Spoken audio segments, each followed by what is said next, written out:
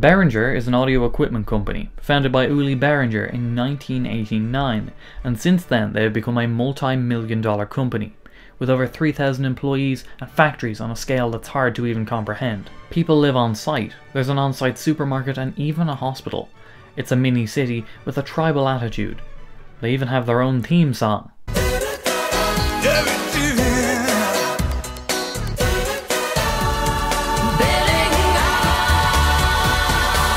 Behringer, along with a number of other brands, fall under the umbrella of Music Tribe, a holdings company based in the British Virgin Islands.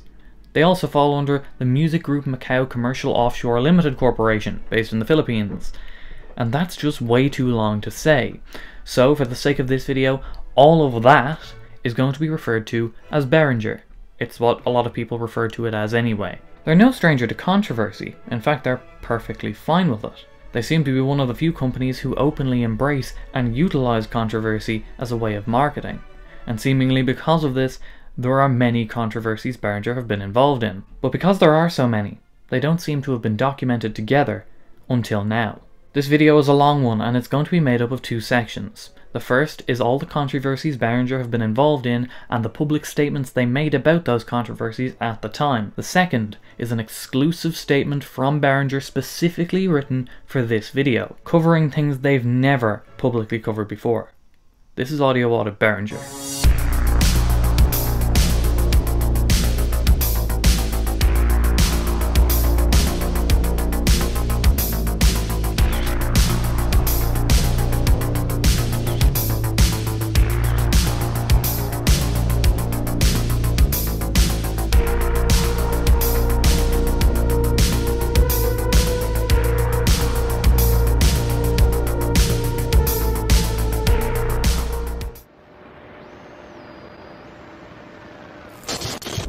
While no stranger to controversy, they're equally no stranger to accusations of copying either.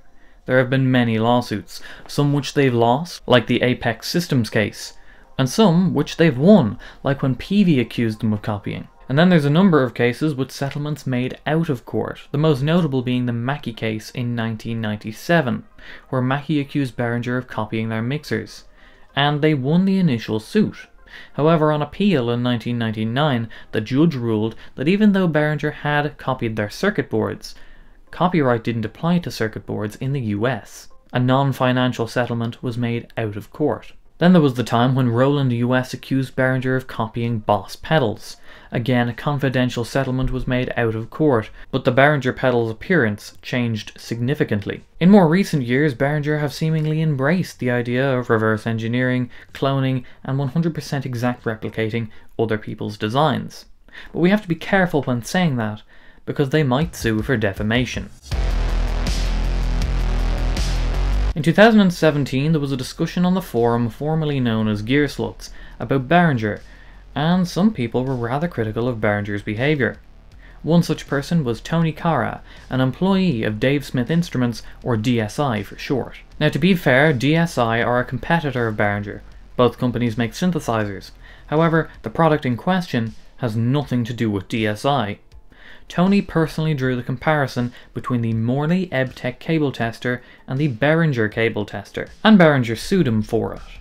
To put this into perspective, it would be kind of like a Gibson employee saying he thinks the PRS Silver Sky looks like a copy of the Fender Stratocaster, and PRS suing both him and Gibson for saying that.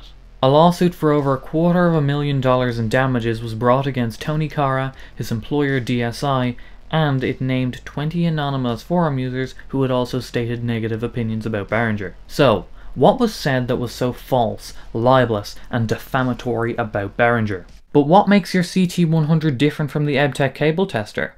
It looks like a blatant copy to me, except for the paint. Now this case never made it to court, but I ask you, members of the online jury, to like this video if you think that the CT100 looks like the EBTECH cable tester. The judge ruled that this was a SLAPP suit, that's a strategic lawsuit against public participation. In other words, he deemed that they were using a lawsuit to intimidate and silence their critics. Hope they don't do that again. Also in 2017, Chinese music blog MIDI-Fan were sent a cease and desist by lawyers representing Behringer, accusing them of defaming Behringer by calling them shameless and copycats. MIDI-Fan translated the cease and desist and posted it online. Here are the highlights. They take issue with the titles of articles published by MIDI-Fan such as Exclusive, Breaking, Behringer's recent crazy copycat stems from a trap of imitation chip more than a decade ago. Can't stop copycat, Behringer will make the Euro module next? Shameless. Behringer exhibited copycat of TR-808, etc. And they also said the same on a social media site, WeChat. The fact that you repeatedly used insulting words such as shameless, copycat has caused the reputation of my four clients to be seriously damaged. That's it. They used insulting words. Behringer's legal team also threatened to pursue them for criminal defamation, which can result in imprisonment in China. Behringer demanded a public apology, so MIDI-Fan released what might just be the snarkiest apology I've ever seen, and changed any words like copy to tribute in their articles. Behringer didn't pursue the case further, but that's not the interesting part of all this. Naturally, when a corporation threatens to sue a journalist for calling them a copycat, there'll be a lot of press coverage. And there was which was addressed via a statement by Uli Behringer. The statement covers three things, two of which we've already covered. The DSI suit, where Uli mentions that they only went through with the lawsuit because they sent a cease and desist to DSI and Tony Kara, where they agreed to remove the forum posts and not make any more defamatory remarks, but Tony allegedly continued to do so. So what was said that pushed them over the edge? Well, according to court documents, he said, Behringer had an obvious historic lack of integrity, which of course is entirely subjective and depending on your interpretation of integrity and the moral principles it encompasses, though the action of them suing someone for saying this does contradict a very recent statement where Behringer say that they will always respect that people may have their opinion about morals and ethics, however that's a subjective area that we won't engage in. Suing someone for questioning your morals does seem fairly engaging to me. Tony also said he was just pointing out the obvious history of copying products, and as previously covered, they do have a history of that, and that it's not beneath Behringer to duplicate a product, paint it a different colour, and give it a different name. There was a reason they lost this case. Can't really do much to defend the idea that a judge deemed the case to be a strategic use of the law to censor criticism, but Uli assures us that he's a big believer in free speech. He also addresses the MIDI-Fan cease and desist, though with not too much new information. The language used was insulting and offensive, and seemingly even more insulting in Chinese culture. Uli does not like media insulting his employees. Sticks and Stones does come to mind though, they did quite literally threaten criminal prosecution because they were insulted. The most interesting part about this statement, though, is that it spends more time talking about something that we haven't covered. It was a story also covered by MIDI-Fan. A strike in the then new Music Tribe factory.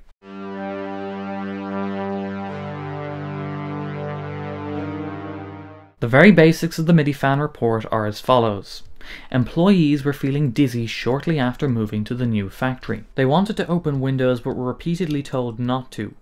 Unfortunately, about one month after moving to the new factory, one employee became sick and was diagnosed with acute leukemia.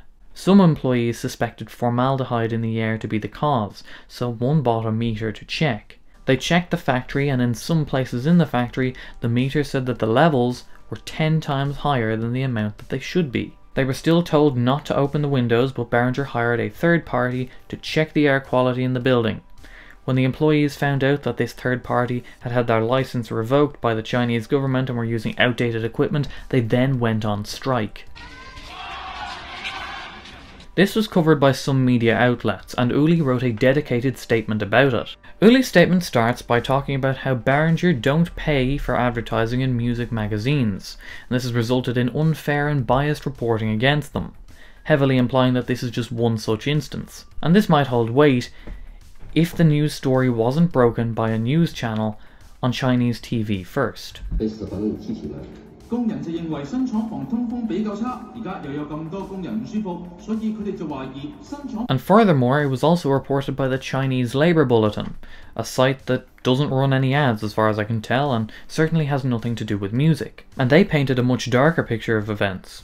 with employees saying that they felt threatened by management and police being called to the protest. Uli does mention the employee having leukemia but blames the other workers' lack of medical education for causing panic, resulting in the strike. Now I'm not sure where Dr. Uli got his medical license from, but I don't think it's the same place as the doctors at the Roswell Park Comprehensive Cancer Center did. They say that acute leukemia, which is reportedly what the employee was diagnosed with, can develop quickly and progress in days to weeks which fits the timeline, making the only medically uneducated person in this instance Mr. Behringer himself. I find it somewhat ironic that he doesn't like when people insult his employees, but had no problem undermining their intelligence in a very public statement when they had reason to be concerned. He states they did tests and found no hazardous chemicals in the air, and the employees are back working in the factory. The sick employee is recovering and they're paying for his treatment. Uli then links a job portal with favourable reviews about working at Music Tribe as evidence to how his employees are treated, and finishes by letting us know that if we want to talk to any Music Tribe people, to just contact them. It's incredibly difficult to fact check what either side says about this story because of the language barrier. What we do know is that there is evidence albeit in a different language, but it was enough evidence to have this story run on Chinese TV. I asked Behringer more about this later on in the video with their statement, but what we know now is that everything was resolved and the employees are back working in the factory. But what I want to draw your attention to is the call for people to talk to employees and the favourable reviews in a job portal. If you want to know what it's like to work at a company, the best people to ask are of course the employees. They'll tell you the good, the bad, and everything in between. One of the most popular employee review sites is Glassdoor. It's intended to be a place for past and present employees to leave an anonymous review of their place of work. And on this site, Behringer and Music Tribe don't exactly have the best scores. Behringer with a recommend to a friend score of 7% certainly has room for improvement. There are also a number of scathing reviews with very severe criticism.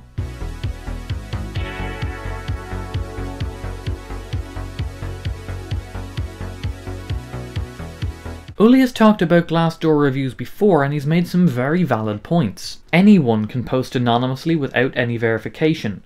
One person can post as many times as they want, and anyone can pretend to be an employee and write a fake review. All very true and something to consider, however, it might be a double-edged sword, as some reviews on the site even claim that Behringer write fake reviews and Uli makes employees write positive reviews. I must admit that in the months I've spent working on this video, Behringer's score has jumped up significantly. And it does strike me as rather strange to see multiple 5-star reviews posted within days of each other, but even more strange to see 4 posted on the same day.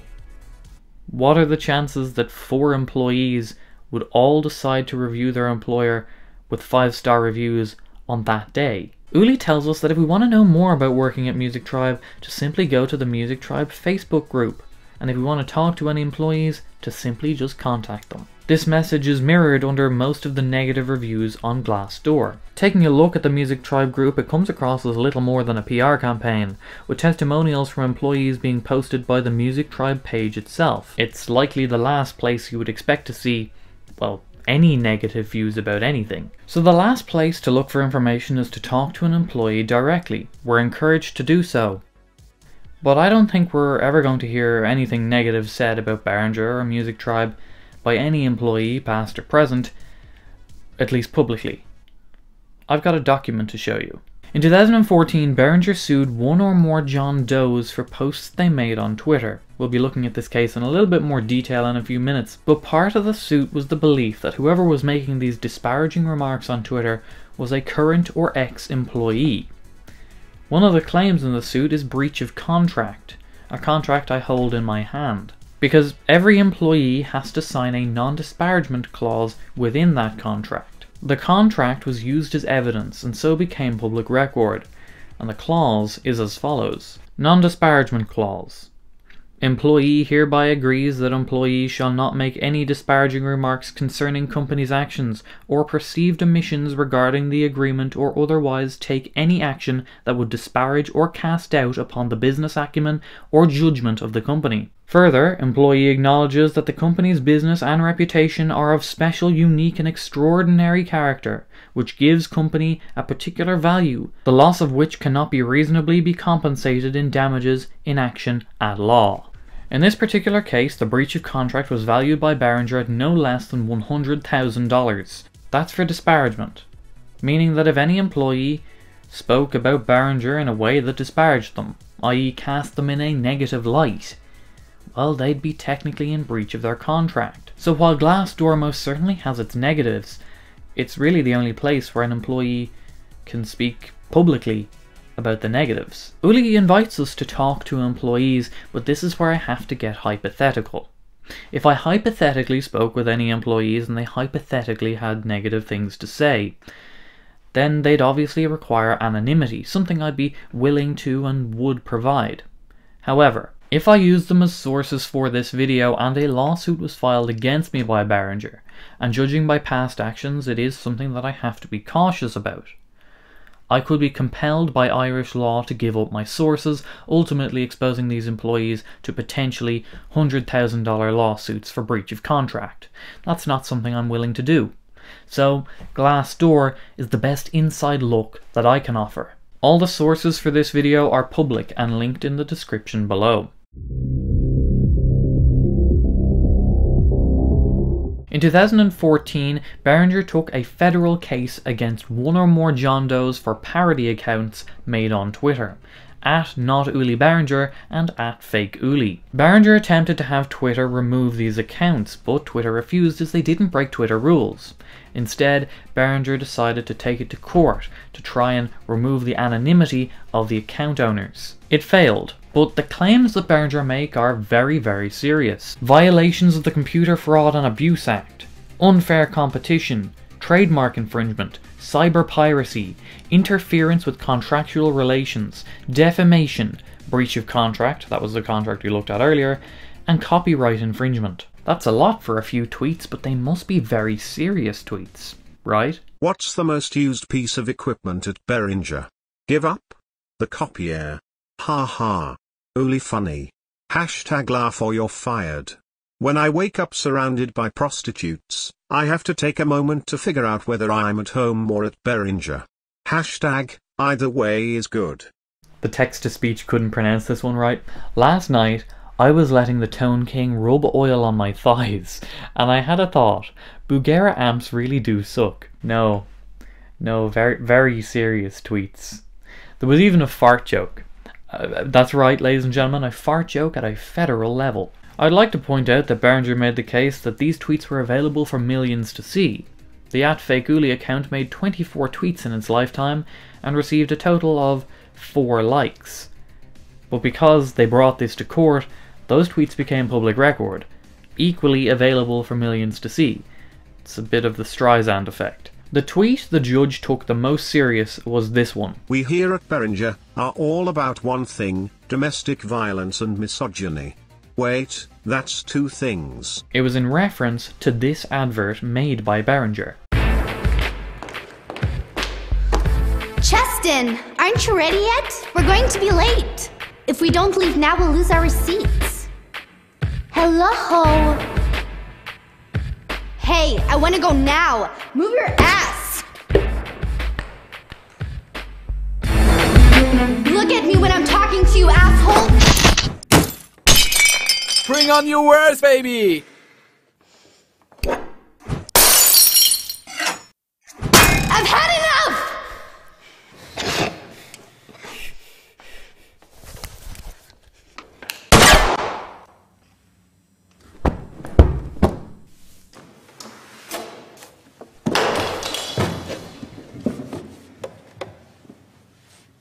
What? It's a Behringer! Here's what the judge had to say about it. The point is that the video is comedic. Whether funny or not is another question. In this context, there is no way to see it fake Uli's comment as anything other than joking and ironic. It does not fall outside the First Amendment for being in poor taste. The judge denied Behringer's motion. Before we move on though, I would like to draw your attention to this. A claim made by Behringer that by the Twitter accounts using the name Uli Behringer, customers will likely suffer confusion or will actually be confused, mistaken, or deceived. That's important, remember that for later. Now the bulk of this point will be covered in a separate video and in a lot more detail. The basics of it though are this.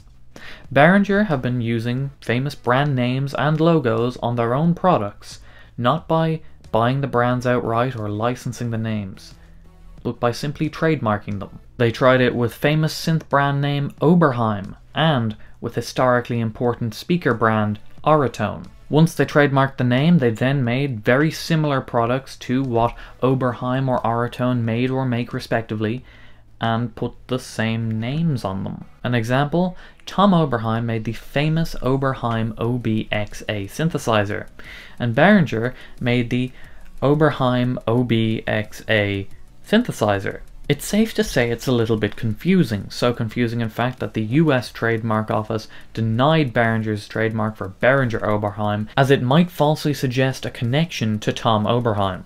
Since then, Behringer and Tom Oberheim have been in talks and Behringer planned to return the name Oberheim to Tom Oberheim. Quick update, they have. The Behringer prototype Oberheim OBXA is now the Behringer UBXA. It's a very similar yet entirely different and more complex situation with Auratone. In 2005, when Jack Wilson, Auratone founder, died, the trademarks he filed expired, and in 2012 Behringer claimed them. In 2011, Behringer made the Behritones, an Auratone tribute. I say tribute because no one would get the two confused and believe that the Behringer Behritone was made by Auratone. It would be very hard to confuse the two. They even said Behringer on the back. And while Behringer had the trademark since 2012, they didn't use it. Not until 2014, when Auratone heir Alex Jacobson attempted to get the trademark back for use in the family business. The legalities are complex and interesting, hence deserving of its own video but there have been several federal lawsuits and has been going on since 2014, and only just now has the situation finally been resolved in Auratone's favour through arbitration. But the legalities are for a different video. Here I simply want to look at Behringer's approach with a critical eye. These are Auratone speakers, and these are Behringer's Auratone speakers. The same product that was once labelled Behringer is no longer. It's also no longer just a possibility that this might cause confusion amongst customers. It has caused confusion. These are not licensed, they're not a collaboration, it is simply Behringer taking a historic name and writing it on their products. From that alone you could argue that Behringer are trying to mislead customers into thinking that they're buying products from an original brand when they're not, but that argument becomes even stronger when you look at the bios written on the Music Tribe website. We at Oberheim believe in continuously innovating and building the best synthesizers that musicians will truly love. Major artists include Rush, Nena, Styx, Queen, Madonna, and Jean-Michel Jarre. Oberheim was founded in 1969 by Tom Oberheim who started by creating ring modulators and phase shifters. Now I'm going to stop that right there. That's all factually true. Tom Oberheim did start Oberheim in 1969 and all those artists did use his products, but they were his products that they used. Behringer have absolutely nothing to do with any of that. And it comes across that they're not just taking the name, they're trying to take the legacy too. Unfortunately, it's the same with Auratone. We at Auratone believe in providing you with amazing audio products at truly amazing prices. Major artists include Michael Jackson, Quincy Jones, etc. founded in 1958. Michael Jackson and Quincy Jones most certainly used Auratones, and Auratone was founded in 1958. Did Behringer have anything to do with any of that? Absolutely not. MJ and Quincy used Auratones before Behringer even existed. And Michael Jackson had died before Behringer even trademarked the name. And at that, all they did was trademark the name. I deem these actions to be nothing but misleading, and from a company that says they're customer obsessed and put the customer above all else, it's very hard to see these actions as anything but doing that. As previously mentioned, Behringer made the case that Twitter parody accounts using the name Uli Behringer in part would mislead customers, and if they truly believe that, then what's the thought process here? The battle for these names has been going on for years, since 2014 for the Auratone trademark. They lost it in Europe, but have since applied for it in a different category. And it's been reported that Behringer have trademarked a number of famous names used by other companies. I expect this behaviour to continue. Update since speaking with Behringer and the arbitration siding with the original Auratone, both Oberheim and Auratone brands have been removed from the Music Tribe site. More will be explained in Behringer's statement later in the video. Peter Kirn is a musician, owner of small synth brand Meeblip, and music tech journalist. He established himself as a thorn in Behringer's side way back in 2005 when he wrote an article critical of both Behringer's ethics and quality. He's continued to be critical of Behringer's clones since, but I think this quote sums up his thoughts perfectly. My plea to Behringer, kick your copying habit, if you can. I could forgive you if you didn't keep doing it over and over again. That suggests to me, and many others, that it's malicious, that you hope customers won't notice and will buy your cheaper version because, cosmetically, it looks the same as something else. If it really is different, and if it really is better, then that only makes this more of a tragedy. It seems like genuine disappointment in a company that certainly has the ability to make original and innovative designs, but instead chooses to follow others. Peter was the first to break the DSI suit. He was also the first to publish the MIDI fan cease and desist letter, and he continued to publish things that were negative about Behringer, including their trademark activity. That was in late November 2019. In early December 2019, Behringer filed for the trademark of the name Kirn. They trademarked his name, meaning that if he wanted to use that name on a synth in the community that he spent years in, he'd have to file for an objection and likely start a legal battle with Behringer. Behringer then began taunting him, announcing on Facebook that they had trademarked his name, then by making several Facebook posts mocking Kirn synths and finally by releasing this video of a 3D rendered synth called the Cork Sniffer. This is a story that you may have heard of because of the sheer amount of backlash it received. Many people accused Behringer of anti-Semitism because of the imagery that the product used. However, I think a lot of doubt can be cast on this accusation. First and foremost, Peter Kirn isn't Jewish.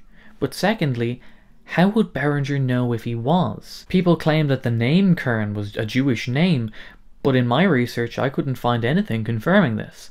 There was a village in Germany called Kirn and it does have a strong Jewish history, but other than that, I'm finding more evidence suggesting that the name Kirn was from Celtic origin. If I couldn't find any fixed information about the name, I doubt Behringer could either. The problem with such a serious allegation is once it's disproven or doubt is cast upon it, it can be used to dismiss all the other criticisms. Behringer took that video down and released a non-apology apology, where they denied any anti-Semitism intent, which is fair enough.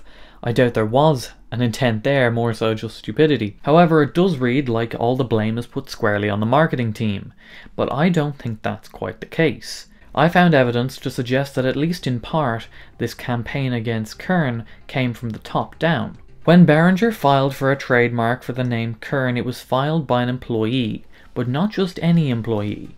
It was filed by Frank. Frank is the longest serving employee at Music Tribe, with 28 years of service, and he's the head of the German division of Behringer. He's a tribe leader. This evidence suggests that the Kirn campaign came from the top down. We don't know how far up it goes, but it certainly wasn't something the marketing team thought up themselves. And I, for one, personally believe that there may have been something bigger in the works, and it would have gone ahead if there wasn't such an uproar after they released the Cork Sniffer video. After all, they did trademark his name, and kept that trademark for months, only releasing it after the backlash came about. And the apology was deleted the same day it was posted. As you can see, Behringer have cease and desisted and sued critics in the past, but they opted for a different approach with Peter, and it seemed to have worked. I, like many others, reached out to Peter Kirn for comment and received no reply. In fact, he hasn't covered any stories about Behringer since this all happened. Their biggest critic is silent. Update was silent. Just a few days ago, Peter wrote his first article mentioning Behringer since the Cork Sniffer incident, an article about Auratone winning their trademark battle. Let me be crystal clear where the criticisms lie. Behringer copy. Some people like this, some people don't. It's open for a debate with many variables, and it's not one that this video is about. The fact is the Behringer copy. There's a legal history of it. They even admit to it. Albeit semantically, but a 100% exact replication is a 100% exact copy. So creating a campaign against a journalist who is critical of this practice is worrying to say the least. But it works as a good deterrent. I know people who have been afraid to talk about this, and I myself have had to be very careful with what I say and how I say it. In the months of me scripting this video, I've had to play 4D chess, thinking about how Behringer would respond to certain things I say. In the past, people who have said what I've said have been labelled as haters by Behringer, or even cork sniffers, people who have too high opinion of themselves to ever use any Behringer gear. I'm actually a big fan of Behringer's surface level ethos. The idea of making gear affordable for anyone to play music through is a great, fantastic idea that I back 100%. And I actually think the gear is good too. I'm recording the audio on a Behringer interface. In fact, I record the audio for every video I've ever done on a Behringer interface. So I took the information I had and reached out to Uli Behringer personally for comment on this video. At first there were concerns that I was being paid by a competitor. I'm not. But once we got that cleared up, they were very helpful and forthcoming with information. I got to talk with Russell Tarleton from Seed IP Law Group, Music Tribe's US counsel, and I managed to secure an exclusive statement from Behringer about all the topics that are raised in this video. They were nice enough to allow me to ask some follow-up questions too. So you're probably sick of hearing my voice by now, so I've asked a YouTube colleague and friend Megan to read this one out. Warning, it's quite a long statement. So, 1. The DSI lawsuit and subsequent SLAPP. Some time ago, a DSI sequential employee, Tony Kara, posted false and slanderous statements about our company and products on multiple forums, which multiple customers brought to our attention we put both the employee as well as DSI Sequential on notice and received an apology letter from DSI, as well as a signed letter of undertaking from the individual in which we were assured he would refrain from future such activities. Please find attached copies from the DSI and Tony Kara. In the official reply from DSI Sequential, the company stated that it had instructed all its employees to stop making any false or derogatory statements against us. Unfortunately, and despite the signed letter of undertaking, the individual continued making defamatory statements, which forced us to take legal action. If the employee had stopped his actions as agreed, the case would have never escalated. It is important to understand that this was not a legal action against a mere individual, but a representative of a competitor any such false and disparaging comments made by a DSI sequential representative are considered slander and damaging as it pertains to a highly competitive market. The media had claimed that we had taken legal action against forum users, which is false. No other person was ever involved, and adding 20 John Does is a standard process in a legal process to find out if there are more employees involved.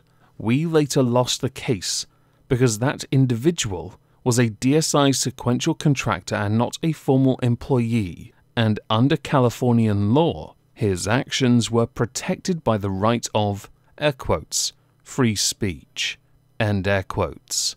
However, this SLAPP law is particular to the state of California and would have likely been ruled differently in other states. 2. The Midifan Cease and Desist. Midifan is a China online magazine which in December 2017 posted the following article. Not only was this article raised by our Chinese employees, but also readers of the Midifan website itself, who felt compelled to contact us. Publishing pictures of a cancer fighting colleague in a hospital bed caused deep concerns among our people, a circumstance which is also illegal in China. The report also included a false narrative of the strike combined with a highly offensive language used. We sent the owner of the publishing site a cease and desist letter, but he was never sued as wrongly reported. At that time, we had spoken with the publisher and he promised to remove the offensive language, which he never followed through. Our employee welfare and integrity had been severely questioned by Midifan, which was amplified as it was later repeated by other media outlets. If anyone is interested about our culture, feel free to visit us as we have an open door policy. We also like to list our employer ranking here. Number 1, employer found for sound equipment. Number 3, employer for electronics manufacturing. Number 11, employer among all companies in Zhongshan. According to media reports on the cease and desist letter Midifan received, Midifan claimed it was for using insulting language such as copycat and shameless in their articles about several Behringer products. They apologized for this and changed the language in those articles. Was there a separate cease and desist in relation to their reports on the factory strike? This statement makes it seem like there was. The Midifan article used several other slurs, which were not only highly offensive but also illegal under Chinese law. We only issued a single cease and desist letter, and after Midifan apologized, we reached out to him with an invitation to visit us so we could show him the factory, which he, however, declined. 3. The Music Tribe factory strike and media coverage of this. When we moved into our new Music Tribe factory in October, Within two weeks, one of our engineers got unfortunately hospitalized with leukemia. Everyone with some medical knowledge understands that this form of disease cannot develop within this short period. However, a rumor in the factory spread that the employee got sick due to toxic air pollution in the new factory. Fear spread among the workforce to the point that they went on strike, which lasted from the 6th of December 2017 to the 18th of December 2017, the government immediately stepped in and ordered a thorough emission test by an accredited third party lab. The results demonstrated that all our emission levels were below the legal limits, upon which the factory was reopened. The government published an official message, linked here, and on the 19th of December 2017, it informed all staff of the factory clearance. We paid for the medical bills, and luckily the employee recovered and returned to work on the 1st of July 2020. Ultimately, the employee resigned on the 18th of November 2020. According to the Midifan report of the strike, they claim that the employee was hospitalized with acute leukemia. Doctors who specialize in cancer say that this form of leukemia develops quickly and progresses over days to weeks. That information seems to fit the timeline in which the employee became ill. With this in mind, do you think the other employees' fears seem justified? We cannot comment on the actual medical condition of the employee, as it falls under privacy laws. However, it is also irrelevant, as all tests have evidenced that there was no air contamination. The employee was a mechanical engineer who worked in the office building, and after he fortunately recovered, he returned to work. In the many decades of operating our factory, no other leukemia case has ever occurred. The Midifan report also mentions that Music Tribe hired a third party to test air quality in the factory, but this third party was using outdated equipment. After this, the government stepped in and ordered more testing and issued a fine to Music Tribe. Is there any truth in these claims made by Midifan? Initially, a third party lab was contracted to undertake the measurements, but after concerns from employees related to independence, this service was halted the government recommended an accredited third party. The test that lasted several days and included over 2,000 sensors across all buildings demonstrated that the air quality was well within limits. The government made all test results publicly available, which were further scrutinized by supervising worker organizations. There was no fine from the government relating to this issue. We are very proud of our state of the art factory, which is built based on Western industrial standards. This includes sustainability measures, such as on site wastewater recycling, electric buses, in house EHS team medical facility, etc. Government regulations require annual factory and EHS environment health and safety certifications, which we have all passed. Our employees' well being is at our utmost priority and this includes the many foreigners that live and work on site. Uli himself was based in the China factory for almost a decade, while also overseeing the new factory construction. Here is a video that provides an insight. And as mentioned earlier, we welcome everyone to visit us and speak to our people. 4. Glassdoor Employee Reviews. It is important to first understand what Glassdoor is. It is an employer review site where people can anonymously post comments. Since it is anonymous, everyone can post anything and you'll typically find reviews from disgruntled employees, but also competitors or simply people who don't like the company. To be clear, we absolutely believe that there are legitimate posts of current and ex employees on Glassdoor, and we acknowledge that certain criticism is absolutely justified. We are currently not perfect, but we are working hard to constantly improve the well being of our people. However, we also know that many posts stem from people who never worked for us, since locations or job titles are mentioned that never existed. One has to ask the question how relevant 150 reviews are compared to the 3,000 employees' views. If you want to know more about our culture and people, we recommend to directly speak to our employees, either through LinkedIn, Facebook, etc., or by visiting our open door offices. We are very proud of our people, many of which have been with us for more than 20 plus years. Some of the reviews on Glassdoor have accused Music Tribe of writing fake positive reviews on the site. How would you respond to these accusations? While we encourage our employees to share their experiences on multiple public forums, we do not create any air quotes, fake, end air quotes, reviews. We welcome anyone to visit our I've got to do the air quotes again, haven't I? Open door no, I'm not doing it. Open door offices. Contact people on social media and form their own independent opinion. 5. The non disparagement clause in the Music Tribe employee contract. These clauses are standard clauses in standard employee agreements of mature organizations. After encouraging people to speak with Music Tribe directly, would you exercise your right to sue the employees for breach of contract if they publicly express disparaging opinions about working at Music Tribe? I ask this because while glass doors have their inherent problems, as you have stated, some employees may feel that anonymity is the only way they can freely express their criticisms. Music Tribe previously used the non disparagement clause against the John Does who were suspected employees of Music Tribe in the Twitter lawsuit. We have never taken any legal action against any current or former employees based on the non disparagement clause for merely voicing opinions about the company's working conditions.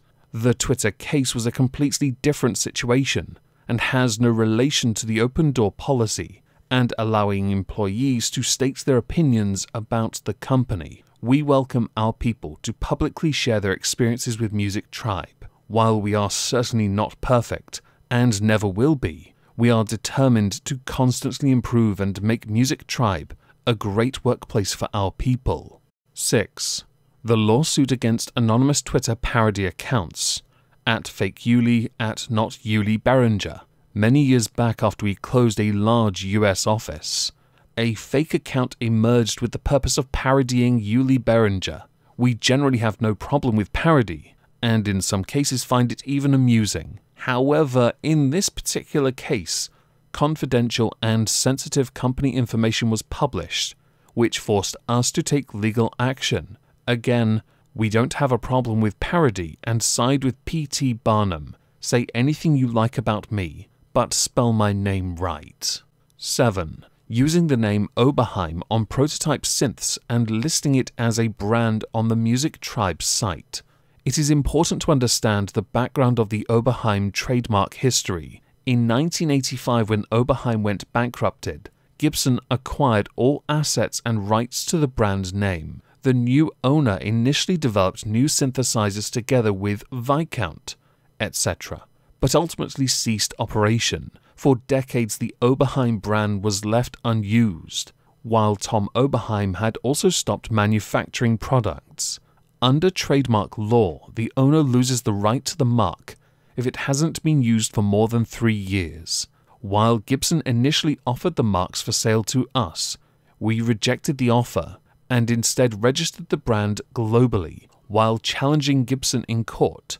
In a subsequent court proceeding, we were awarded the brand's name for Europe and other jurisdictions.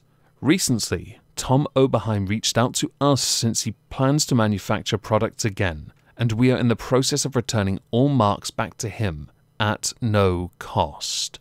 8. Using the name Auratone on speakers, resulting in people assuming licensing or collaboration. Over 10 years ago, we were looking for an abandoned speaker brand for low cost speakers and came across Auratone. At that time, the trademark was in the hands of two individuals who had registered the mark, which they had previously used for electronic products. We discussed a potential licensing deal, however, this negotiation did not succeed.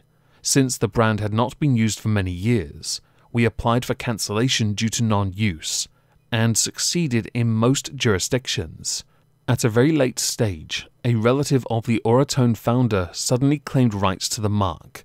After a lengthy process, an arbitrator reviewed the evidence and was persuaded that the relatives of the Auratone founder had not abandoned the mark despite years of non use. 9. Listing both companies' original legacies on the Music Tribe site. Brackets, i.e., and I think, quote, Oberheim was founded in 1969 by Tom Oberheim and listing famous artists that used original Oberheim and Auratone products. End bracket. Since we are the rightful owner of both marks in some jurisdictions, showing the history of the brands is appropriate and legitimate. 10. The Cork Sniffer Controversy. That's a thing. Peter Kirn is the owner and editor of a German online magazine called CMD that deals with musical instrument products. Peter and Uli have a 20 year history, and though both have never met, the relationship had been highly contentious. For decades, the commercially run magazine CMD published unflattering and at times derogatory articles, both about the brand and Uli Behringer himself. At times, Uli tried to reach out and offer an open conversation, which Peter Kirn declined, while continuing his attack on the brand and Uli. At some time, the marketing team and Uli decided to run what was meant as a parody of Peter Kirn, depicting him as Pinocchio, who would mischaracterize the company and its products. We have attached excerpts from his CMD posts. This is the attached document I received from Behringer linking to articles going back as far as 2005 up to 2019 written by Peter Kirn. Some contain quite harsh statements like Behringer, already a notorious rip-off artist, but others being what I would consider tame. Behringer has been awfully hit or miss, with some great kit, some crap, mixers ranging from so-so to lousy. Remember, this is a music journalist. If he thinks some gear is great and other crap, it's his job to say it. The campaign backfired and the company admitted that it was poor judgment. Within hours, Uli posted a public apology to Peter and removed all content. 11. Accusations of anti Semitism. This is so far fetched that it's not even worth responding. The image reflects a caricature of Peter Kirn, who is not Jewish, with his beard and glasses and an attached Pinocchio nose. Anyone not familiar with Pinocchio and may want to look it up. 12. Trademarking Peter Kirn's name and the idea that this was planned from fairly high up in the company. Frank Behringer tribe leader applying for the trademark. The mark was registered in Class 15 for synthesizers and again meant to purely poke Peter Kirn. No one ever planned to make a real product under his name. The trademark was later cancelled. 13. The apology and deletion of said apology within a day. The said video was broadcasted only for a few hours, and after Uli publicly apologized on Facebook, the whole thread was removed a day later, which included the apology. Many magazines had picked up on Uli's apology, which can be read to this day. Once again, we regret this action as it was thin skinned and inappropriate, and we once more apologize to Peter Kirn. Well, you were right, this was long. Oh, right. Thank you for letting me feature. As a reward, I'd like you to now tell me where on the guitar the B string is. I'm joking, of course. Ta ta for now. So, a big thank you to Omegon for reading out that statement, and a big thank you to Uli and Russ for working with me to release that statement. that's the video. If you watched this far, you should probably subscribe. For those of you who are interested in supporting the work that I do, I've just launched a YouTube members option where you'll get access to videos before anyone else and a bunch other perks too, while supporting the channel. Thank you for watching, and I'll see you next time. Bye bye.